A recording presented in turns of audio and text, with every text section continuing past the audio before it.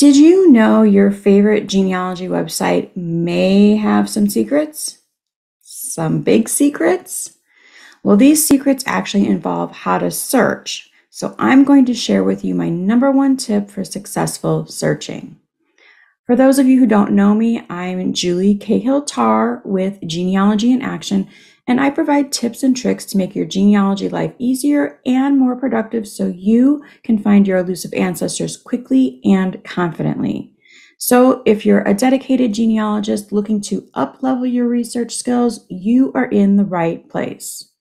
So again, in this video, I'm going to tell you how you can learn more about searching specific websites to get better results.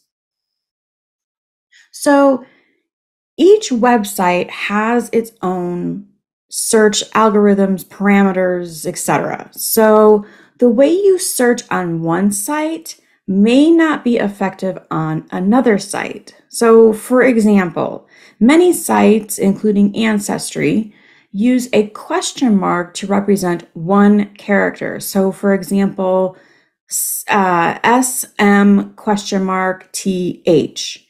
That would return a Smith with an I, a Smith with a Y, um, a Smoth with an O, a Smath with an A, whatever.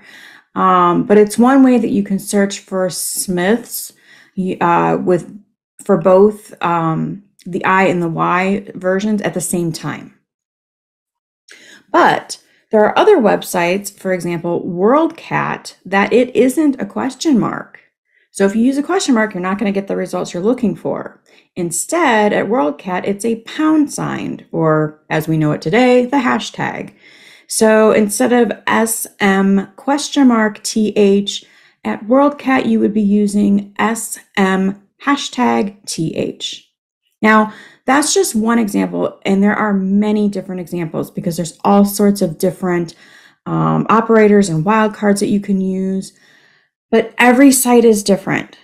And there is no, there is some commonality, but it is not universal. I wish it was because it would make our lives a lot easier.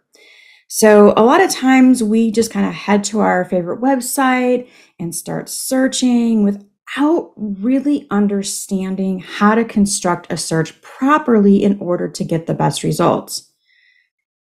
So, how do you unlock the secrets that will enable you to get the most out of your searches?